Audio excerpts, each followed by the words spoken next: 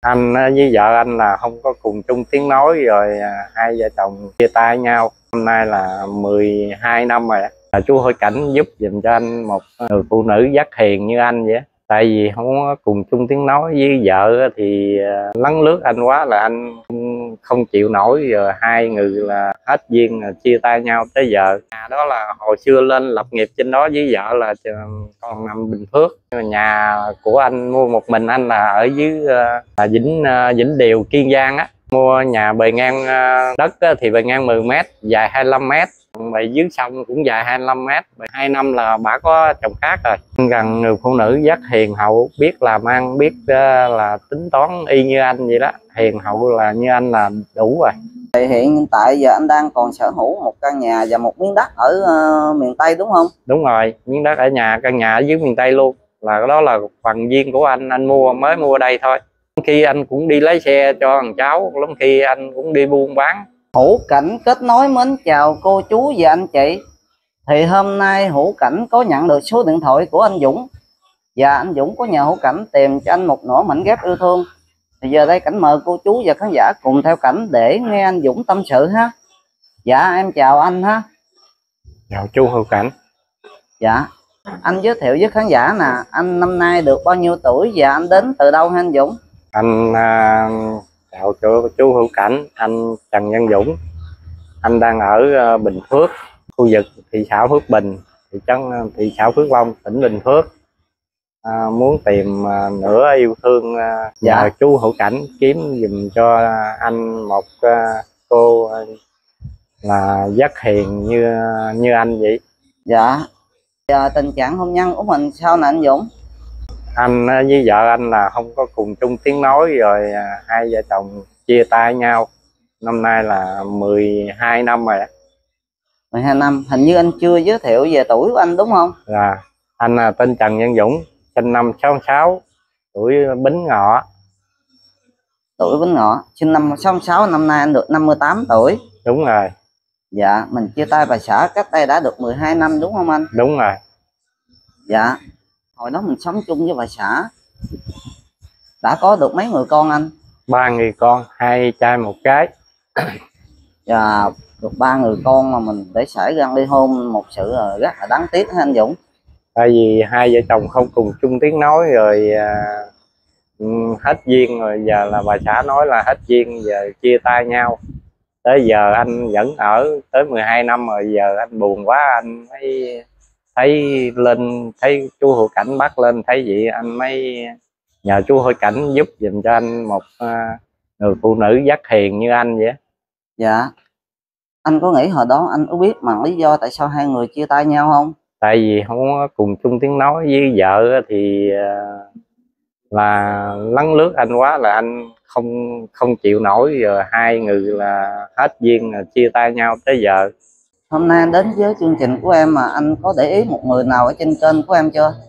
thì à, anh không có để ý ai hết anh muốn à, là lên chú hữu cảnh nhờ chú hữu cảnh giúp giùm cho anh chứ anh chưa có để ý ai hết á Dạ.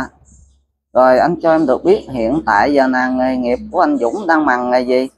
Anh hả thì coi như à, là lái xe anh Dũng cũng có lái mà buôn bán vậy thì cái nghề nào mình làm được thì mình cứ làm thôi Dạ. miễn Gốc gác của mình ở ờ, Bình Phước hả anh Dũng? gốc thì gốc An Giang đi lập nghiệp ở Bình Phước năm 89 tới giờ Ồ, em nghe nói anh mua nhà ở Bình Phước đúng không?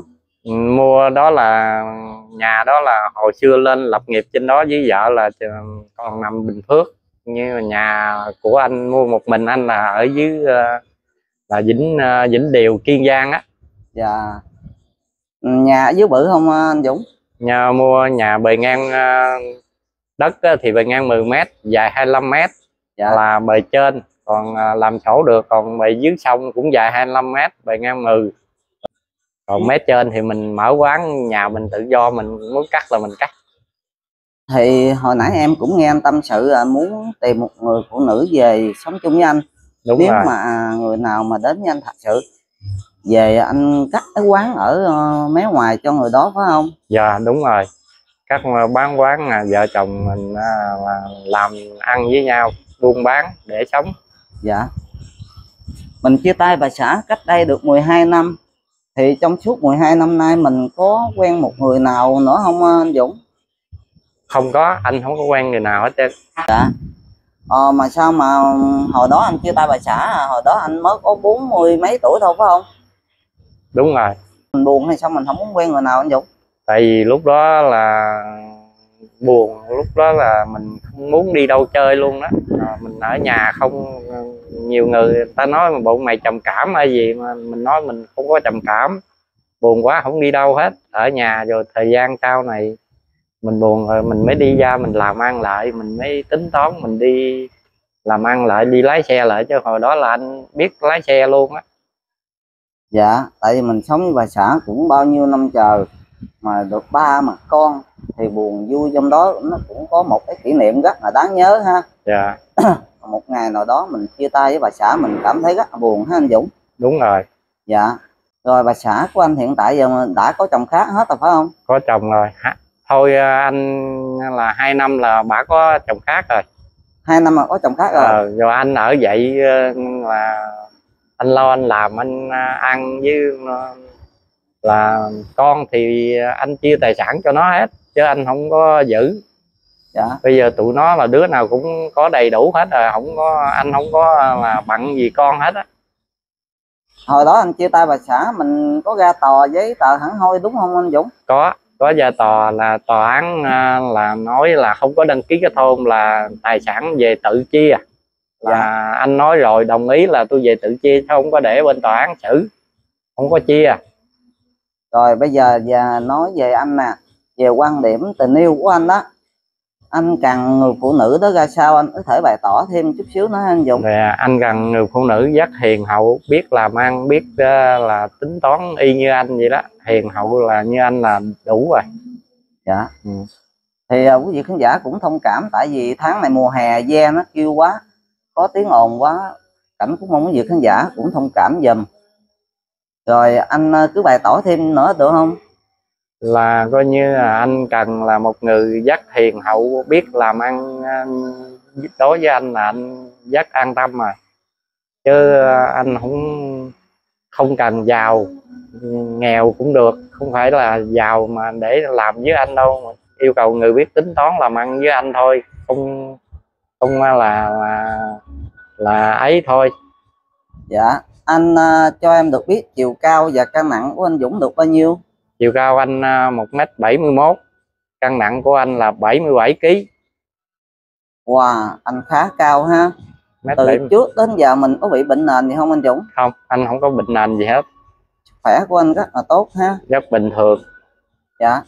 Thì um, bây giờ nè gần kết thúc video giờ anh có một hai câu nói gì mà để cho các chị em phụ nữ có một sự tự tin mà đến với anh không thì à, nói chung anh nói là các chị em nào mà thấy cảm thấy mà cùng chung chí hướng với anh á, thì à, mà liên hệ với à, chú để mình giao làm quen với nhau để mình tiếp tục cái cuộc đời mình sau này. Dạ. Rồi bây giờ tài sản anh đã chia hết cho con anh rồi thì hiện tại giờ anh đang còn sở hữu một căn nhà và một miếng đất ở ờ, miền Tây đúng không? Đúng rồi miếng đất ở nhà căn nhà ở dưới miền Tây luôn. Là cái đó là phần duyên của anh anh mua mới mua đây thôi. Dạ. Ừ. ừ, hồi anh chia tay bà xã cách đây đã 12 năm mà anh cũng mua được cái căn nhà và miếng đất đó anh nghĩ là công việc anh cũng khá ổn ha. Dạ. Hiện tại giờ mình bằng về công việc gì? Công việc thì của anh à, anh lắm khi anh cũng đi lấy xe cho thằng cháu lắm khi anh cũng đi buôn bán. Như tới mùa à, xài mùa này kia mà thấy à, có lời là anh mua anh đi bán xài cho người ta giao lại cho người ta. Mua ở An Giang á mua xài ở An Giang á. dạ. Rồi thôi bây giờ là em sẽ xin ờ, tóm tắt video như vậy ha. Dạ. Dạ. Anh Dũng à, năm nay được 58 tuổi. À, thì chia tay bà xã cách đây đã được 12 năm. Dạ. thì anh sống với bà xã cũng được ba người con. Và con của anh Dũng hiện tại giờ có nơi ở có nhà cửa ổn định riêng tư hết rồi. Thì trước mắt anh không có con vướng bận. Dạ. thì hôm nay đến với chương trình của hữu cảnh nhờ hữu cảnh tìm cho anh một người quan trọng người đó càng nghèo càng tốt đúng không anh Dũng? Đúng rồi. À, anh Dũng có nói không cần người đó phải giàu sang cho mấy. Chỉ dạ, cần người đó trung tình và hiền hậu sống có đạo đức là được rồi ha anh? Đúng. Dạ rồi anh có cho phép em đăng hình ảnh của anh lên mạng xã hội hay không? Cho cho phép. Sau này bản thân của anh hoặc người nhà của anh à, không có quyền kêu em phải gỡ video này xuống anh Dũng. Rồi đúng rồi.